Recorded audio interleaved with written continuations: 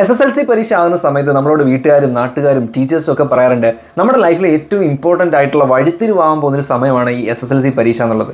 എന്നാൽ പത്താം ക്ലാസ്സിന്റെ പരീക്ഷ കഴിഞ്ഞ് റിസൾട്ടൊക്കെ വന്ന് കുറച്ച് ദിവസം കഴിഞ്ഞാൽ nobody cares about S S L C right ആ ഒരു എക്സാമിനെ പറ്റി ആരും ചോദിക്കില്ല എത്ര മാർക്ക് ഉണ്ടെന്ന് അവർ അന്വേഷിക്കില്ല. കുറച്ച് ദിവസത്തേക്ക് മാത്രമുള്ള ഒരു സന്തോഷം. പിന്നീട് ആരെങ്കിലുമൊക്കെ ചെറിയ അനുമോദനങ്ങളൊക്കെ തരും. അതിനപ്പുറത്തേക്ക് പ്ലസ് വണ്ണിലേക്ക് അഡ്മിഷൻ കിട്ടിക്കഴിഞ്ഞാൽ then no one cares about S S L C ഇനി പ്ലസ് ടുവിലേക്ക് എത്തുന്ന സമയത്ത് വീണ്ടും നമ്മൾ ഇതേ പല്ലവികൾ കേൾക്കും. പ്ലസ് ടു നമ്മുടെ വഴിത്തിരിവാണ് നമ്മുടെ കരിയർ ചേഞ്ച് ആകുമ്പോൾ നമ്മുടെ ഫ്യൂച്ചറാണ് ഇതേ വാക്കുകൾ റിപ്പീറ്റ് ചെയ്യും. പ്ലസ് ടു പരീക്ഷ കഴിയും റിസൾട്ട് വരും. ദെൻ അഗെയിൻ അതിനുശേഷം ആരും അതിനെപ്പറ്റി അന്വേഷിക്കുക പോലുമില്ല. അതിനുശേഷം ചില ആൾക്കാർ ഡിഗ്രിക്ക് പോകും ചിലർ മെഡിസിൻ ചിലർ എഞ്ചിനീയറിങ് ദെൻ നമ്മൾ പ്രൊഫഷണൽ കോഴ്സുകളൊക്കെ ഉണ്ടെങ്കിൽ അതിലേക്ക് പോകാൻ സാധ്യതയുണ്ട്.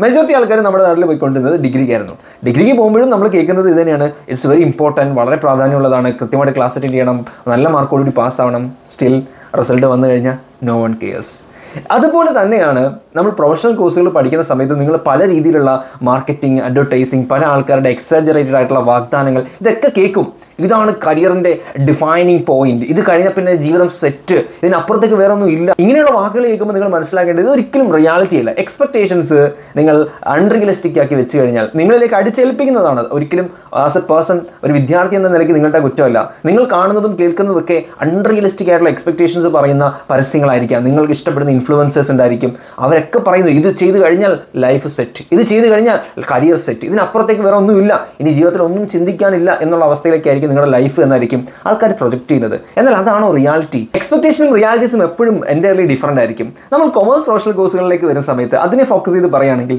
കോഴ്സുകളൊന്നും തന്നെ മോശമല്ല. നമ്മൾ ഒരു ക്വാളിഫിക്കേഷൻ ഉണ്ട് എന്ന് പറയുന്നത് എപ്പോഴും നല്ല കാര്യമാണ്. ആസ് എൻ എംപ്ലോയർ ഒരു എംപ്ലോയർ എന്ന രീതിയിൽ ഉദ്യോഗാർത്ഥികളെ നോക്കുന്ന സമയത്ത് സെലക്ട് ചെയ്യുന്ന സമയത്ത് ഹയർ ചെയ്യുന്ന സമയത്ത് അവർ മൂന്ന് കാര്യങ്ങൾക്കാണ് ഇമ്പോർട്ടൻസ് കൊടുക്കുന്നത്. ഒന്ന് നിങ്ങളുടെ എഡ്യൂക്കേഷണൽ ക്വാളിഫിക്കേഷൻ രണ്ട് എക്സ്പീരിയൻസ് മൂന്ന് നിങ്ങളുടെ skill what you bring to the table എന്നുള്ളൊരു കാറ്റഗറിയാണ് ഈ മൂന്ന് കാര്യങ്ങളുടെ അടിസ്ഥാനത്തിലാണ് ഒരാൾ നിങ്ങൾക്ക് തൊഴിൽ തരുന്നത്. അപ്പോൾ അതിലെ ഫസ്റ്റ് ക്രൈറ്റീരിയ എന്ന് പറയുന്നത് എപ്പോഴും എന്താണ്? എഡ്യൂക്കേഷൻ തന്നെയാണ് നിങ്ങളുടെ ക്വാളിഫിക്കേഷൻ തന്നെയാണ്. സോ അതുകൊണ്ട് തന്നെ ഒരു കൊമേഴ്സ് പ്രൊഫഷണൽ കോഴ്സ് പഠിക്കുന്നത് ഒരിക്കലും മോശമായ കാര്യമല്ല. ആ ക്വാളിഫിക്കേഷൻ ഉള്ളത് ഒരിക്കലും തെറ്റായ കാര്യമല്ല. ഒരിക്കലും നഷ്ടബോധം തോന്നേണ്ട കാര്യമല്ല. പക്ഷേ പ്രശ്നം എന്താണെന്ന് വെച്ചാൽ ആ ക്വാളിഫിക്കേഷൻ ഉണ്ട് എന്നുള്ളത് കൊണ്ട് മാത്രം നിങ്ങളുടെ കരിയർ സെറ്റായി എന്ന് ഒരർത്ഥവുമില്ല. അങ്ങനെ ഒരു ചിന്ത നിങ്ങൾക്ക് വേണ്ടതാനും. നിങ്ങളുടെ കരിയർ സെറ്റ് ആവണമെങ്കിൽ you need to acquire experience you need to acquire skills നിങ്ങൾക്ക് പ്രാക്ടീസിലൂടെയും എക്സ്പീരിയൻസിലൂടെയും നിങ്ങൾ അക്യൂർ ചെയ്യുന്ന ആ ഒരു അഡീഷണൽ കോമ്പറ്റേറ്റീവ് എഡ്ജ് ആ എഡ്ജാണ് നിങ്ങളെ കരിയറിൽ ഉയർത്താൻ പോകുന്നത്.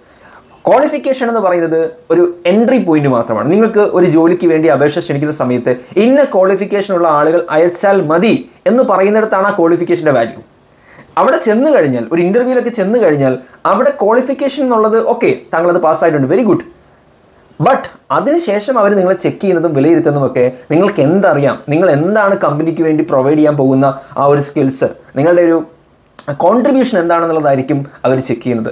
സോ അൺറിയലിസ്റ്റിക് ആയിട്ടുള്ള വാക്കുകൾ എക്സാജറേറ്റഡ് ആയിട്ടുള്ള അഡ്വർടൈസ്മെന്റ്സ് ഒക്കെ കാണുന്ന സമയത്ത് നമ്മൾ മനസ്സിലാക്കേണ്ടത് ക്വാളിഫൈഡ് ആയി എന്ന് പറഞ്ഞത് കൊണ്ട് നിങ്ങളുടെ ലൈഫ് സ്വിച്ച് ഇട്ടതുപോലെ ഒറ്റ ദിവസം കൊണ്ട് അടിപൊളിയാവാൻ പോകുന്നില്ല. ഒറ്റ ദിവസം കൊണ്ട് നിങ്ങളുടെ ലൈഫ് മാറാൻ പോകുന്നില്ല. ഇറ്റ് ടേക്ക് ടൈം സക്സസ് എന്ന് പറയുന്നത് ഒറ്റ രാത്രി കൊണ്ട് വരുന്നൊരു സാധനമല്ല. ഇറ്റ് ടേക്സ് ടൈം എളുപ്പത്തിൽ കിട്ടുന്ന ഒരു സാധനമായിരുന്നെങ്കിൽ അത് എല്ലാവരും സക്സസ്ഫുൾ ആവില്ലേ? കോമേഴ്സ് കോഴ്സുകൾ മാറ്റി നിർത്തുക. നമുക്കൊരു എം ബി ബി എസ് പഠിക്കുന്ന ഒരു ഡോക്ടറിനെ കൺസിഡർ ചെയ്യാം. നമ്മുടെ നാട്ടിൽ ഏറ്റവും കൂടുതൽ പ്രിവിലേജ് കിട്ടുന്നതും ആൾക്കാർ റെസ്പെക്ട് ചെയ്യുന്നതായിട്ടുള്ള ഒരു കോഴ്സ് അല്ലെങ്കിൽ ക്വാളിഫിക്കേഷൻ ആണ് എം ബി ബി എസ് എന്ന് പറയുന്നത്. എക്സാം ഒക്കെ എഴുതി എൻട്രൻസ് ഒക്കെ എഴുതി പാസ്സായി M B B S complete ചെയ്ത് വരുന്ന ആൾ it doesn't mean that his life is completely set അയാൾ എം ബി ബി എസ് പാസ്സായി എന്ന് പറഞ്ഞിട്ട് അയാൾക്ക് വലിയ രീതിയിലുള്ള ലൈഫ് അങ്ങ് അടിപൊളിയാകാൻ പോകുന്നൊന്നുമില്ല. ശരിയാണ് ആൾക്കാർ റെസ്പെക്ട് ചെയ്യുമായിരിക്കും. പക്ഷേ കരിയറിൽ നമുക്ക് റെസ്പെക്ട് മാത്രം പോരല്ലോ. അരി വാങ്ങിക്കണ്ടേ? പൈസ വേണ്ടേ? അപ്പോൾ നല്ലൊരു ജോലി നല്ലൊരു ഹോസ്പിറ്റലിൽ ഒരു ജോലി എല്ലാ എം ബി ബി എസ്കാർക്കും ജോലി കിട്ടുന്നുണ്ടോ നമ്മുടെ നാട്ടിൽ ഒന്ന് ആലോചിച്ച് നോക്കുക. മിക്ക ആളുകൾക്കും നല്ല രീതിയിലുള്ള ഒരു കരിയർ ബിൽഡ് ചെയ്യണമെങ്കിൽ അവർ എം ബി ബി എസിന് ശേഷം വീണ്ടും എന്ത് ചെയ്യേണ്ടി വരും? എം ഡി അതിന്റെ പോസ്റ്റ് ഗ്രാജുവേഷൻ കാര്യങ്ങളൊക്കെ ചെയ്യേണ്ടി വരും. ഏതെങ്കിലും ഒരു മേഖലയിൽ സ്പെഷ്യലൈസ്ഡ് ആവേണ്ടി വരും. ഇനി അത് ചെയ്താൽ പോലും പിന്നീട് അവർ വർക്ക് ചെയ്ത് എക്സ്പീരിയൻസ് ക്രിയേറ്റ് ചെയ്ത് ഒരു നല്ല വേർഡ് ഓഫ് മൗത്ത് ഒക്കെ ക്രിയേറ്റ് ചെയ്യുമ്പോഴാണ് നല്ല ട്രാക്ക് റെക്കോർഡ് ഉണ്ടാകുമ്പോഴാണ് അവരുടെ കരിയറിൽ ഒരു സ്റ്റെബിലിറ്റി നമുക്ക് ഫീൽ ചെയ്യുന്നത്. നിങ്ങൾ കാണുന്ന ചില ഡോക്ടേഴ്സ് കാണും. നിങ്ങൾ റെഗുലറായിട്ട് നിങ്ങൾക്ക് എന്തെങ്കിലും ഒരു വേദനയൊക്കെ വരുന്ന സമയത്ത് പോയി കാണുന്ന ഡോക്ടേഴ്സ് കാണും. അവരൊക്കെ അത്യാവശ്യം എക്സ്പീരിയൻസ്ഡ് ആയിരിക്കും. ആ എക്സ്പീരിയൻസ് അവർ ഒരു ദിവസം കൊണ്ട് എം ബി ബി എസ് പാസ്സായപ്പോൾ ബിൽഡ് ചെയ്തെടുത്ത എക്സ്പീരിയൻസ് അല്ല. അല്ലെങ്കിൽ ഒരു ലെഗസി അല്ല. It takes time same goes with every course നിങ്ങൾ ലോകത്ത് ഏത് കോഴ്സ് പഠിച്ചാലും ഏത് തൊഴിൽ ചെയ്താലും നിങ്ങൾ ആദ്യമായിട്ട് കയറുന്ന ദിവസം തന്നെ അതിന്റെ രാജാവാകാൻ പോകുന്നില്ല എന്ന റിയാലിറ്റി നമ്മൾ മനസ്സിലാക്കുക. ഇല്ലെങ്കിൽ എന്ത് സംഭവിക്കുന്നു വെച്ച് കഴിഞ്ഞാൽ പല ആളുകളും വലിയ പ്രതീക്ഷയോടുകൂടി മുന്നോട്ട് പോയിട്ട് ആ ആഗ്രഹിക്കുന്ന സാധനം കിട്ടാതെ വരുമ്പോൾ നമ്മൾ ഭയങ്കര എക്സ്പെക്ടേഷനിലായിരിക്കുമല്ലോ പുറത്തോട്ട് ഇറങ്ങുന്നത്. അപ്പോൾ നമ്മൾ ആഗ്രഹിക്കുന്ന ഒരു ലെവലിൽ സാധനം കിട്ടിയില്ലെങ്കിൽ ഭയങ്കരമായിട്ടുള്ള ഡിപ്രഷൻ ഡിസാറ്റിസ്ഫാക്ഷൻ ഇതെല്ലാം നമുക്ക് ഫീൽ ചെയ്യാൻ തുടങ്ങും. ഇത്രയും നാൾ നമ്മൾ പഠിച്ചത് വെറുതെയാണോ? നമ്മൾ ആഗ്രഹിച്ചൊരു സംഭവം അല്ലല്ലോ നടക്കുന്നത്. ഇങ്ങനെ ഒരു തോട്ടിലേക്ക് നിങ്ങൾ പോകാനും നിങ്ങളുടെ മാനസികമായിട്ടുള്ള ഒരു ആരോഗ്യം മോശമാവാനും വലിയ കാരണമാവും. അപ്പോൾ ഇത് നിങ്ങൾ മനസ്സിലാക്കണം ഈ റിയാലിറ്റി നിങ്ങൾ അണ്ടർസ്റ്റാൻഡ് ചെയ്യണം എന്നുള്ളതുകൊണ്ടാണ് ഞാൻ ഈ വീഡിയോ ചെയ്യുന്നത്.